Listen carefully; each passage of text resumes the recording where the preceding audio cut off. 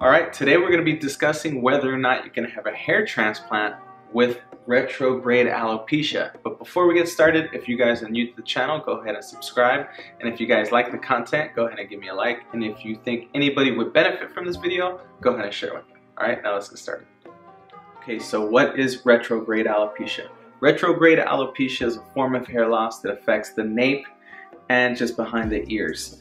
Uh, it's a condition that causes the hair on the back of your head to actually recede upward into the donor zone. And this is why a lot of people feel that those with retrograde alopecia are not candidates for hair transplant surgery. Now, having said that, I actually have retrograde alopecia. I know it's a little bit difficult to, to tell now, um, but I actually do, and I'm gonna link a couple of pictures to show you guys that, yes, in fact, I did have retrograde alopecia.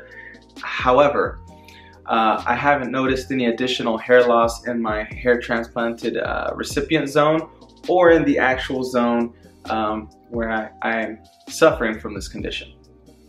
I don't think that you're automatically excluded from having a hair transplant if you have retrograde alopecia, but you definitely need to be more conservative and you need to tell the doctor to never take any hair at the nape. Uh, some doctors will remove some hair uh, in the nape and put it in your hairline because it's generally softer and it makes the hairline look a lot more natural. But if you have retrograde alopecia, that is not permanent hair. So definitely do not have your surgeon take any hair from there if you believe that you may be suffering from this condition. Now, I'm going to get into how you actually diagnose whether or not you have retrograde alopecia. Okay, so really the only way to diagnose it is to go to a surgeon that has a microscopic device that can actually detect miniaturization. So um, hair transplant surgeons usually have these cameras that can film your donor area and look at your hair uh, at the microscopic level. And this is how you're gonna know whether or not you have significant miniaturization in the back of your uh, nape.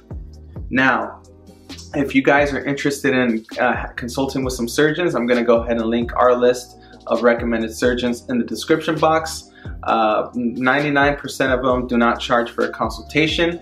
Uh, some do, so you may want to call them before scheduling a consultation. Also, if you guys are interested in having a hair transplant and you want to see who's doing good work, I'm going to link the Hair Restoration Network forum in the description box. Guys, there are thousands of real patient posted results and guys posting their journey there every day. And you can see the good, the bad, and the ugly and who's doing good work. All right, till next time.